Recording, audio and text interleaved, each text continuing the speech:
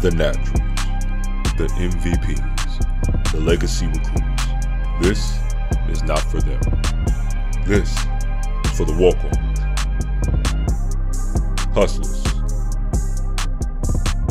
the 110 percenters.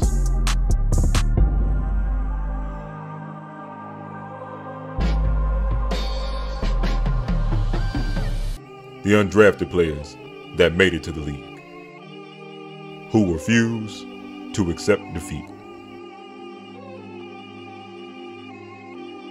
Because it isn't just about winning or losing,